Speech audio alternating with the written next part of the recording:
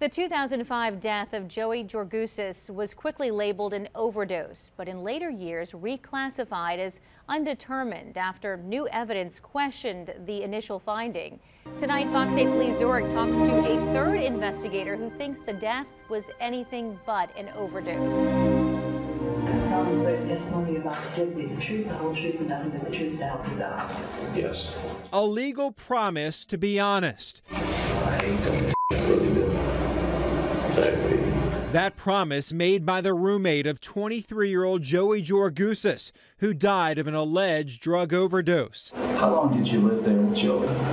Um, I think about a year, maybe more, maybe less. It's around, around about a year. Okay, you had a room there that was that was your place. This interview from a deposition, part of a lawsuit filed by Georgousis' family to get the death reclassified because the family thinks Joey was actually murdered. We accepted our son. If he overdosed, we could live with that. Weeks before Katrina, Joey Georgousis died in this Lakeview home. Months later, Joey's father received a startling call. Then, in about in November, I get a call from an individual and tells me that they heard he was murdered. Georgousis says he received a few more calls from people saying the same thing. When we heard that, we called the police and asked them to start looking into this as a homicide. That's when Georgousis reached out to Chuck Loescher, an acquaintance, and at the time a New Orleans police officer. We met at a Burger King on Veterans Boulevard. Loescher worked in New Orleans but had lived in St. Bernard Parish, where Joey Georgousis was raised. Joe taught my, my older brother karate when he was younger, and, and I lived in the parish for a while went I up to 17. So Joe lived in Araby when he was younger. He's, he's a little older than me, but everybody knew Joe. More than a year after Joey's death, Loescher, in his capacity as an NOPD detective, interviewed Jerome Carasquillo, Joey's roommate. In that interview, Carasquillo told Loescher two now convicted drug dealers murdered Joey. Loescher says he then asked Carasquillo to meet with a few more NOPD officers, so he took Carasquillo to the NOPD trailers that served as post Katrina offices. There, Loescher says Carasquillo told the same story. When Jerome left the trailer, when he got outside, he, he asked me, could he talk to me on the side? And said, look, uh, Detective Loescher says, uh, I'm scared for my life.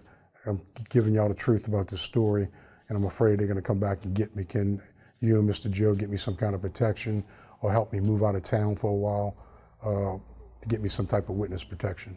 Do you believe that? I believe that he was scared, yes. He was, he was pale as a ghost. I believe he was scared for his life. Months later, Carasquillo recanted that statement.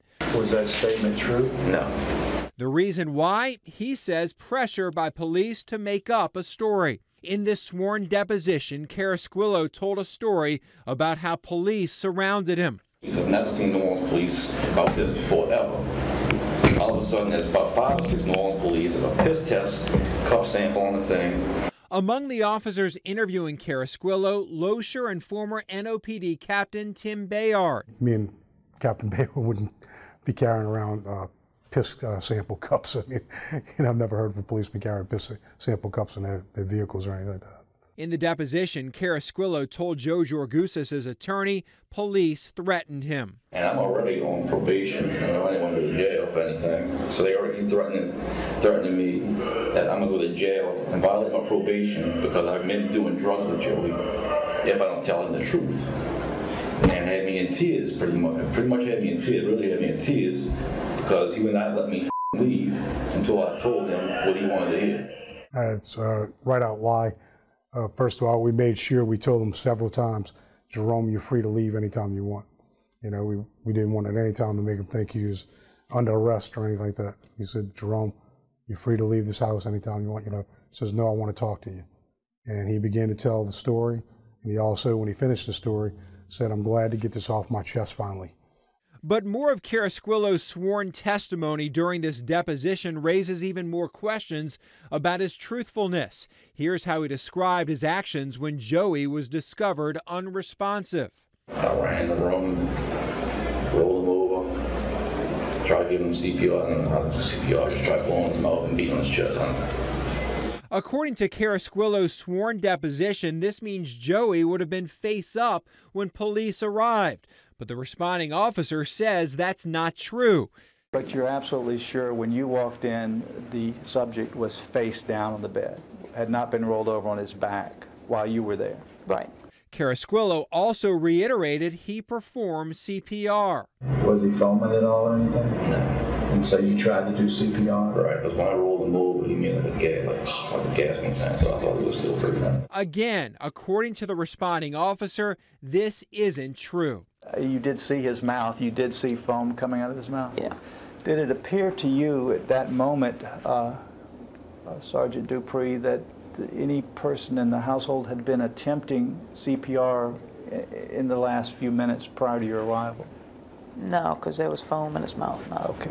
In fact, Officer Dupree says Carasquillo wasn't even in the same room with Joey when she arrived at the house. She says he was sitting on the couch in the living room. What was, what was his mannerisms at the time you first observed him? Um, calm. Okay. Uh, Were his mannerisms consistent with a person dying in the other room, in your opinion, as a police officer? no. Okay. Uh, did he appear to be in, in distress to you? No. Carasquillo's initial story that two convicted drug dealers murdered Joey matches what Joey's former girlfriend, Jennifer Miller, also told police. You do understand that this is on your own free volition. You can leave at any time you wish. Miller told Loescher that morning the two convicted drug dealers went into Joey's room and about 10 minutes later left. Tell me exactly what did he say? They said that they would hurt us. Not to say anything because we would kill you too. So then that something had happened Right. to Joey. Right. What did Jerome say? Jerome said I'm scared, Jen, and I said me too. Loescher says this story adds credence to the one Carasquillo told. Do you believe the stories that Jennifer Miller and Jerome Carasquillo told? Absolutely. Just uh, their stories were very alike on two different occasions when I interviewed diff- on both of them. I think it was three days apart when I interviewed them, and the stories were so similar and so detailed to what they told me that I really believe this happened in the house. Both Miller and Carasquillo recanted their stories. Why do you think they recanted them? I believe because they were scared for their life. Former Orleans coroner Jeffrey Rouse reclassified Joey's death from an overdose to undetermined. The U.S. Attorney's Office has opened an investigation into the death.